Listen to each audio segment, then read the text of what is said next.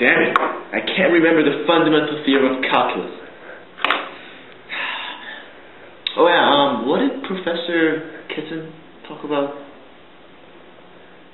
Today we'll be learning the fundamental theorem of calculus. So to start off, we will draw a graph.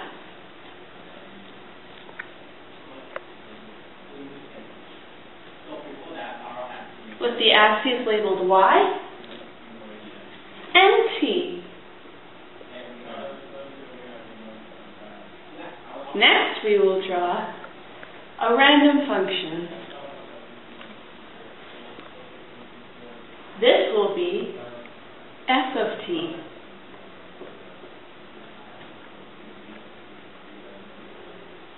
And just picking some random point on here, draw it straight down. This whole section is f of x. And right here is x. What? And now we take from here. Let's call this A. And say this is B. We want the area under the curve f of x t from A to x.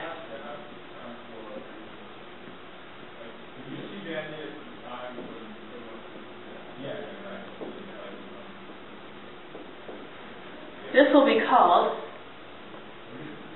g of x. And since it's the area under the curve f of t, we write this as the integral from a to x.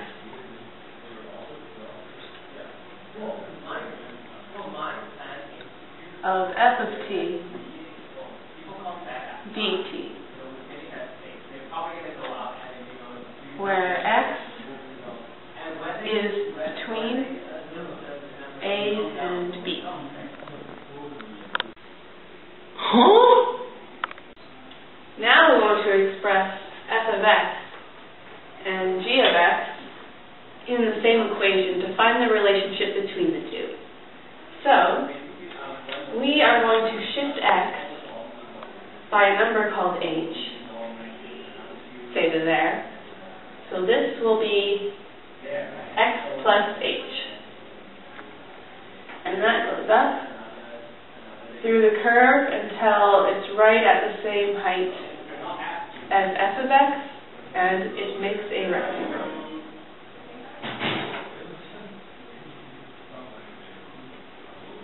Now, we want to find the area of this.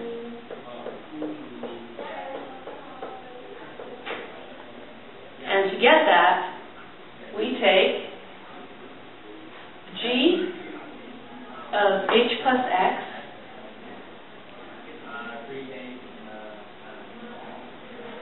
minus this area, which is just g of x,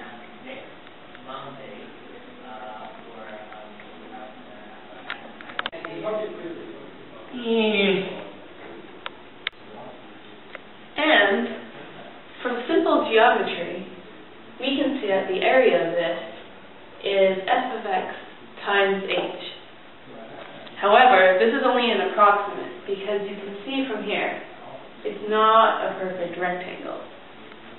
So we write this is approximately h times f of x.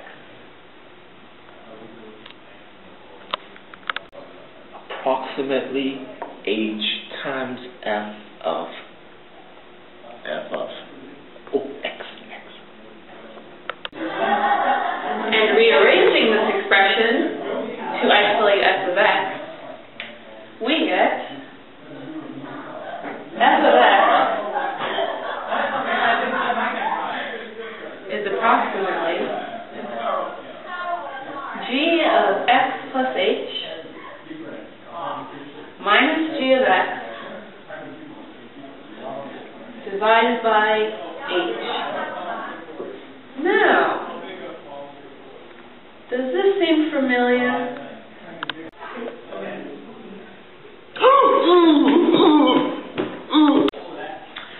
Hmm.